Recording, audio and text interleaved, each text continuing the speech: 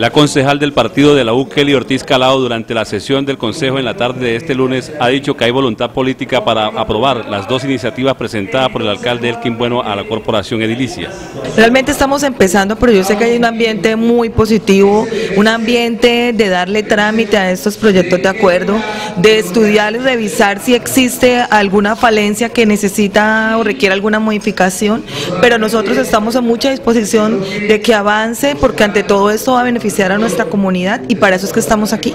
Ortiz Calao aprovechó para anunciar que el Tribunal Administrativo de Santander negó en primera instancia la pérdida de su investidura.